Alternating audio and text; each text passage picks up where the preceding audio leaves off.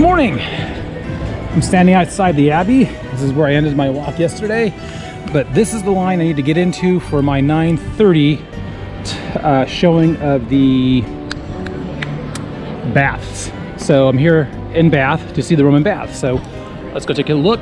I'm not sure if they're allowing video cameras or photos inside, but we'll find out.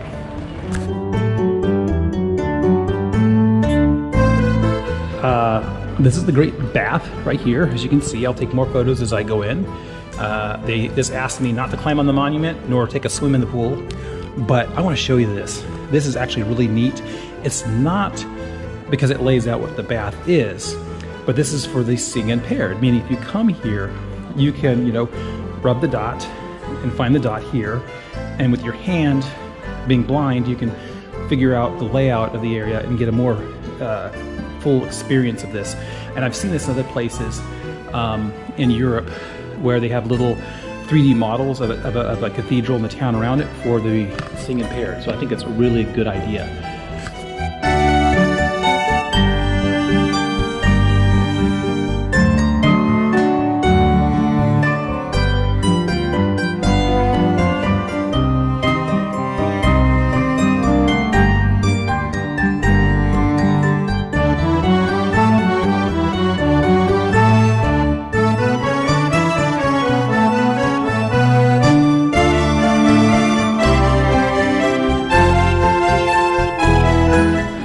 Before I get too far ahead, uh, this is what the baths used to look like when they first were built.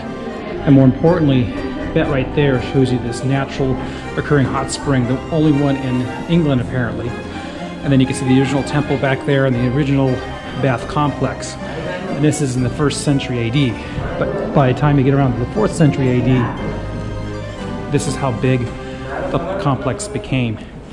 And you can see the, oh, excuse me, you can see the grand building here, the bath, uh, and everything else in the temple complex. So uh, this is really neat.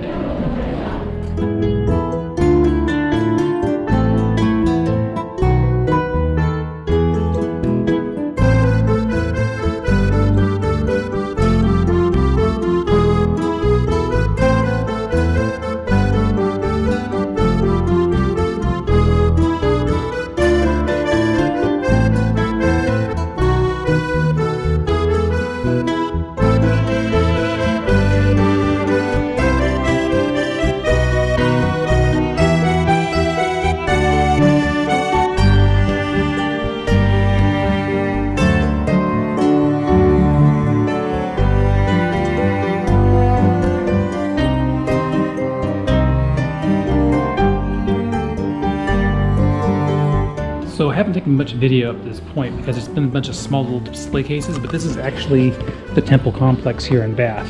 So you can see the various columns here. And it's kind of, the lighting is really subdued to add the ambiance of this all. But this is actually Roman street level here.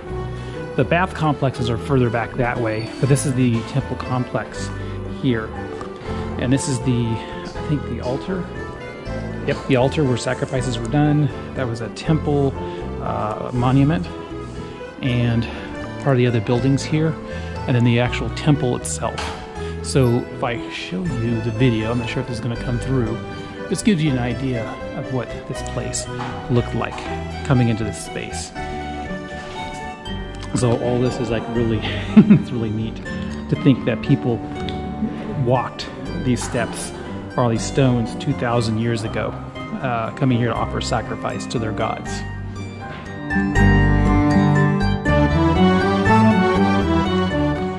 So I'm here on the other side of this. I did some video over there earlier, but I just want to give you another shot or angle of this place on this side. Like I said, this is really neat that this is the actual street level or the courtyard level of the temple complex here. And it definitely smells musty down here like grandma's basement. Those people who know that reference. And this actually is the head of the of uh, Sulis Minerva, who is the goddess that was worshipped here primarily. And according to the little guide, this head would uh, be inside the temple with a statue. And workmen in the 1700s digging a trench discovered it. and uh, now it's back here. But it's very interesting. They said on the, the guide that only people who get to see the statue was the people who service the temple, the interior part of the temple. So, uh, and the other, once again, what's a nice thing here at this museum is a lot of interpretive things where people who are blind or just kids wanting to touch stuff can touch these things to give an idea of what uh, they're experiencing. So, there we go.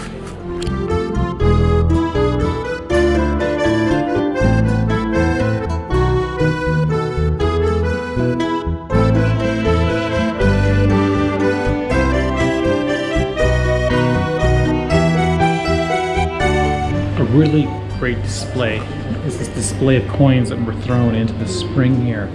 But what I like about it is they, they segment the coins by the age here. And there's also stacks of coins. Apparently there's like 12,000 coins or more that were thrown in the spring.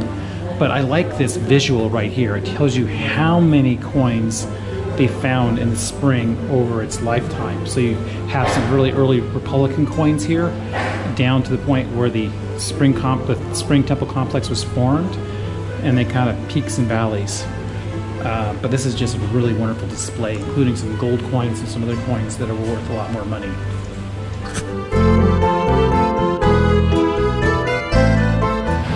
So right here is the actual overflow from the, the, the natural hot spring. And uh, it's definitely steaming. You see the heat coming off of it and it's also uh, bubbly because of the dissolved gases coming out of the water that's under pressure.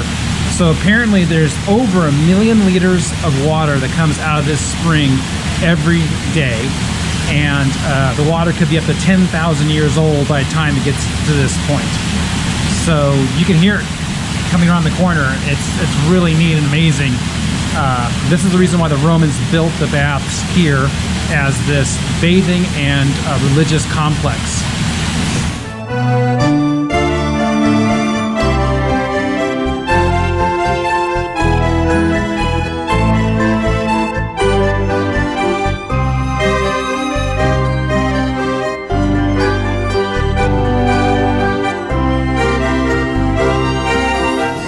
So there's a couple more displays here. So this is one of the uh, stonemasons here. And this is pottery, but this is what I want to show you right here. So this is the main drain. So the water overflowing from the spring was allowed to go here, but also, as you can see from the diagram, um, water from the Great Basin and other things could be drained into this. And walk down here, and this is one of the sluices. So this is going out to the main Great Bath. This is to allow them to drain the water out of the Great Bath, which was really neat. And then coming back over here, the other little piece of history are these things right here. So these are all signet rings or personal seals. And uh, it's just conjecture how they wound up here. Either they were lost uh, by bathers here at the uh, bath, or they were offerings of some sort. So this is actually really, really neat, them showing you what this looks like.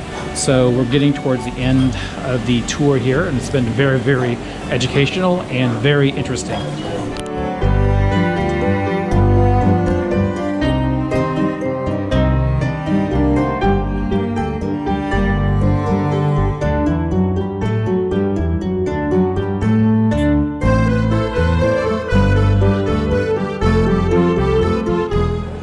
So I just got done touring the side of the uh, bathhouse so there's this immersarium here, immersion pool up to your neck of relatively warm water.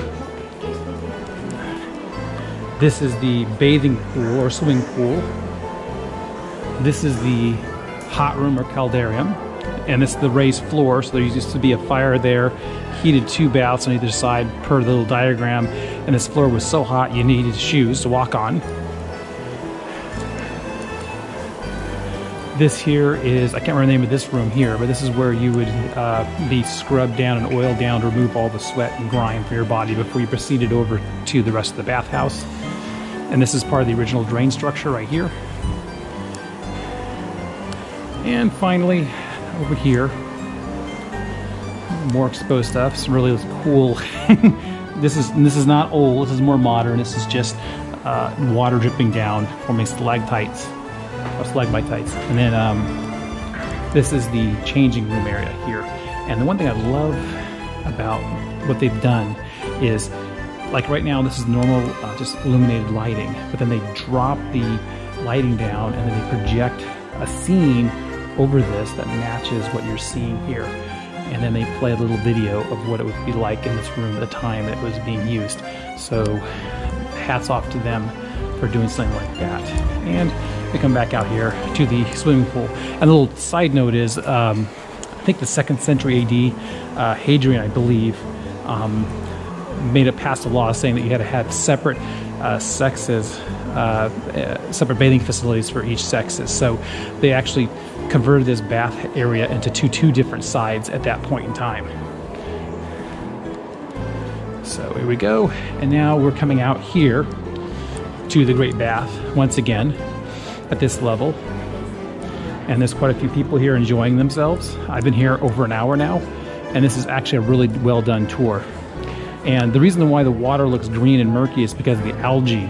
But what they, what they said was with the enclosed space originally, this water had been very clean and uh, bathable at that point. But since it's exposed to sunlight uh, most of the day and the elements, it's this nasty green whatever. So you think I would never bathe in it. But you have to remember back 2,000 years ago, closed space, uh, fresh water always flowing through here, draining the bath, refilling it. And also, they said, I think they said there's two centimeters worth of lead lining this pool right here. And it's all still sealed up. So it's not percolating the ground, it's still flowing the way it's supposed to flow over 2,000 years of history here.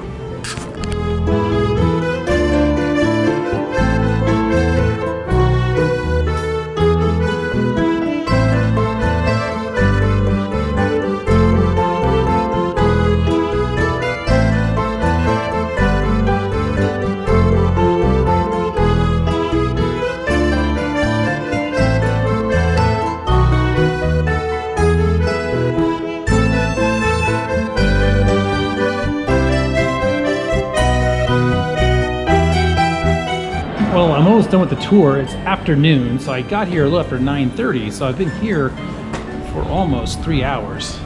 So one last look at the uh, Great Bath here, and the water still flows out here, and there's some other piping here, but this is the actual spring that comes up, and the Romans built a wall around it, but then later on in the 12th century, I believe what they said, the monks from the abbey up the way built this as a healing pond and you see the brown staining there, that's the level of the water which allowed to have it come up to this level.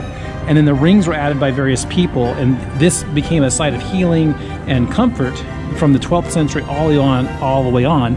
And the pump room here up here was uh, added in the either 17th, I think 18th century, the 1700s, and this was a very fashionable place to be. So uh, we're about done with the tour, and so uh, I'm going to continue listening to my audio guide, and we'll be done.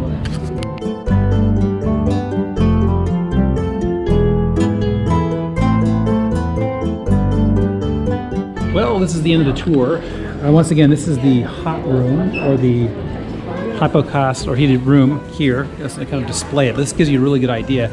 And they mentioned the fact that uh, either it's over there or maybe right underneath my feet is where the stoke hole was. So they were basically putting charcoal and wood in here to heat this floor.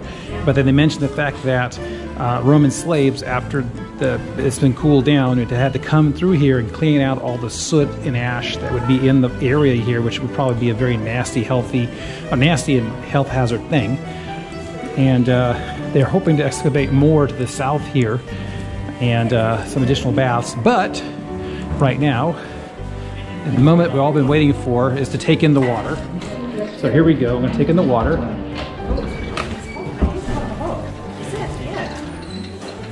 It's all right. Here we go. Cheers to your health.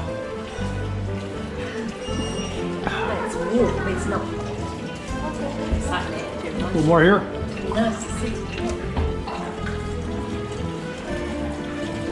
You know what it tastes like? It tastes like Calusa water. From my grandparents' house in Calusa.